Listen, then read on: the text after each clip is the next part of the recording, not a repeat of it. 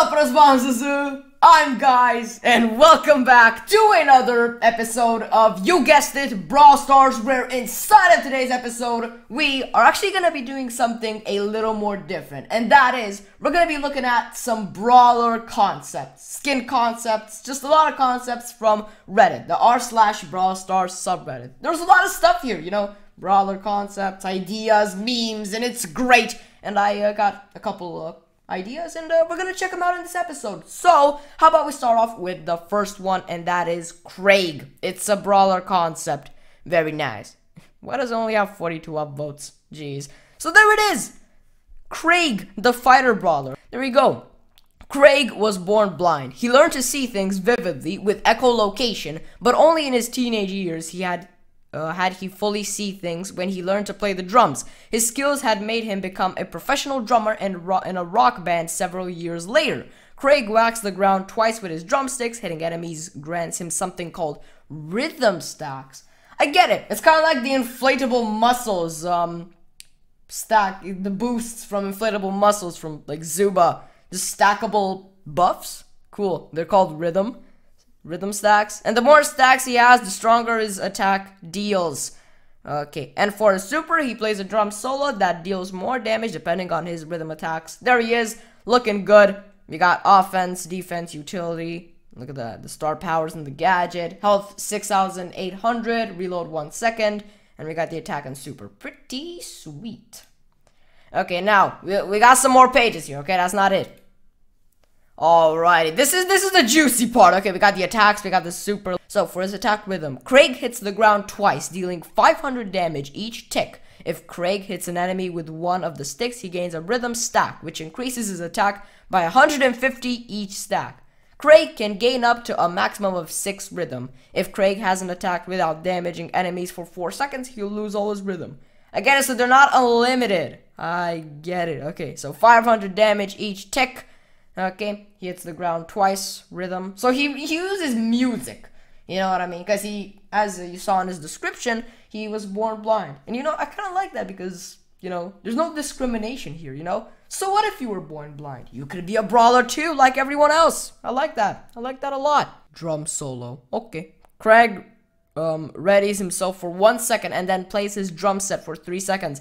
So it's kind of like Frank's super, you know, he when Frank uses his super, he kind of spins a little bit and then attacks. That's kind of what happens here. He just readies himself for one second, dealing damage by how much rhythm he has every 0.5 seconds around him. Okay, so it depends on the rhythm. He can still move during this. Oh, unlike Frank, he can still move. Cool. 0.5 seconds around him. He can still move during. Yeah, yeah. His current rhythm won't deplete during it, can't gain rhythm when damaging enemies during it, and he can't reload ammo, uh, ammo during the super. Alright, 0 rhythm, 466 per 0.5 seconds. 2 rhythm, yeah, the damage increases. I get it. And the maximum of 6 rhythm. So these are his attacks. He's based off of music a lot, he has the buffs and everything. He's pretty unique if you think about it. It's it's a great concept. And now let's check out his star power, speeding tempo, Craig gains a 3% movement speed for each rhythm and can stack for up to 18%. 3 times 6 is, of course, 18, so that's pretty cool. Sound Barrier. Craig gains a 2% shield for each rhythm. He can stack up to and can stack up to 12%. Alrighty, so the more rhythm, the more shield and less damage he takes. Now, the gadget freestyle three style. Craig's rhythm won't decay for two seconds. He has three uses. Alright, and there's another style for a second gadget which doesn't yet exist. Nice. And we got some more artwork of him. Look at sweet! This is this is such a cool brawler concept. And guess what? The next one is also a brawler made by the same person called I ran out of ideas. I ran out of name. Names. Colette. Okay. It's called Sharon. See? Same person. Pretty pretty cool artwork too. Sharon plays always dreamed of being a pop singer, but she is too shy to perform when people around when uh around people. Sharon saved money to buy a microphone that can amplify her voice so people can hear it, no matter where, but even when she finally became a famous singer, she's still too shy to perform in concerts. Nice. Sharon uses her microphone to create sound waves in a very tight cone. Her super fires off a music note that once it hits an enemy, it will create a magnetic field that homes her sound waves towards the affected brawler. Jeez. Yeah, we can see she's very shy to perform. She's very, um, he's good at utility. Okay. Health 4,480, reload uh, 1.5 seconds, attack and super. Alrighty. Compact voice, vocal attraction. Okay, okay, these are the attacks. It's kind of like the same, the same idea as Craig, you know, the same artwork, kind of, same style. Look at that. This is our attack here. Compact voice. Sharon fires three sound waves like a shotgun in a tight cone of 16. Each waves, each wave is doing 500 damage. Okay, okay. So three sound waves. You, we can see right here in the illustration. You got. Okay, it's a pretty tight wave though. You gotta aim pretty well to actually hit that. But good idea though. And we also got vocal attraction. Let me just do this right. There you go. Sharon fires, fires a music note dealing 1100 damage to a target on contact and applying a magnetic field on the brawler for 5 seconds. Look, there's a Jessie there, see? There's a Jessie, and that's the magnetic field, I suppose. The magnetic field makes all Sharon attacks home towards the affected brawler and increases the projectile's range by 3 tiles if the waves are within the magnetic field's range with the same strength as homemade recipe. Yeah, you know homemade recipe for Piper? Yeah, when she activates the gadget, the next attack, you know, kind of homes towards enemies and increases the range. This is kind of it right here, if the enemy is in the magnetic field, of course. More than one brawler can have the magnetic field and this projectile won't home when the affected enemy is behind a wall. Okay, okay. So this is kind of cool. So when she uses the super on an enemy and creates a magnetic field, you know, um, she can hit she can hit the enemy a lot uh, easier. Nice. Polarizing force. Buzz with a magnetic field gets, um, yeah, the English here is great. 168 damage per second over the course of the whole super. Alrighty, alrighty. So basically, when they're in the magnetic field, they don't take that much damage, but they can't heal because they're taking damage. Cool. It's kind of like Lou's. It's kind of like Lou's super. Water pressure. Brawlers affected by her super will have their range reduced by 10% for 3 seconds after the initial effect. Okay, so reduced range. Hmm, that's fine. Reverb! Sharon's attack fires twice in one ammo for 3 seconds. The attack, the second attack deals 25% of the main attack's damage, has 3 uses. Okay, okay, she fires twice in one ammo. That's quite the gadget. And of course, there's no second gadget. For now. Pretty, pretty sweet, actually. This could be a new brawler. Come on. We need the Supercell now. On to something else. Um, and that is a skin. So, it's called Hawaiian Nita. You know, uh, Supercell uh, release is gonna release like a make campaign for a summer Nita skin. You probably know that. And um, look at this. They're already, um, the Reddit boys are already coming up with concepts, which are very nice. So, Hawaiian Nita here. We got three of them. Pretty nice.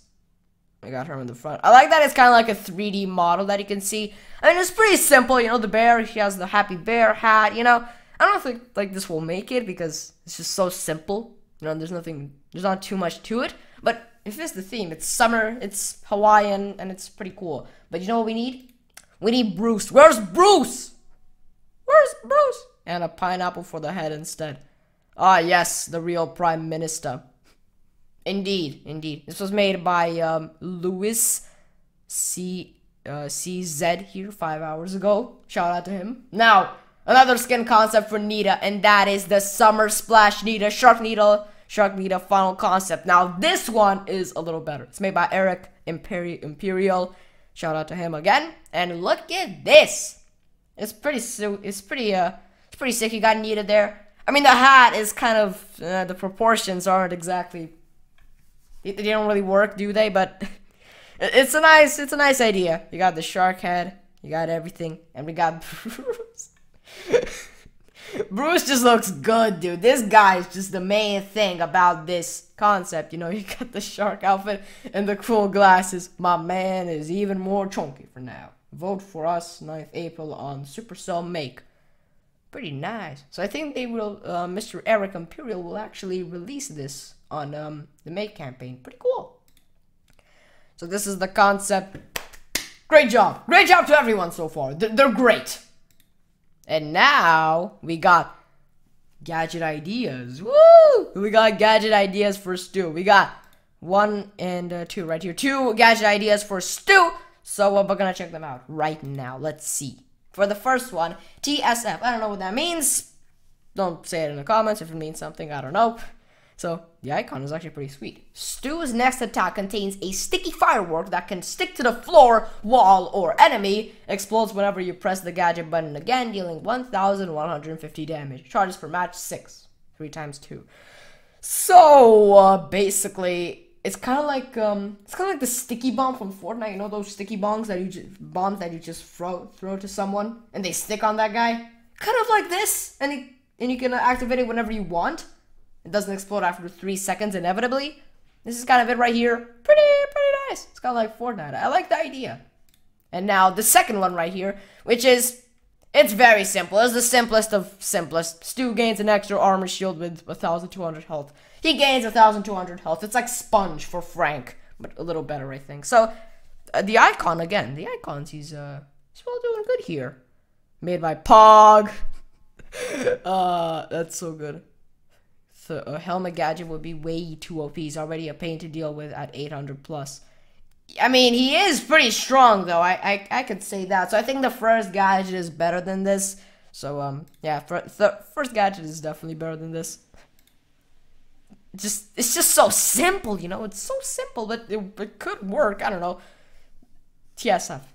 Great. So my favorite thing out of here has got to be the Craig concept. Because, come on, dude. He, he epic. He epic. I like the stackable part about him, you know? He's just just has the rhythm stacks and it's so so unique and good and I like it.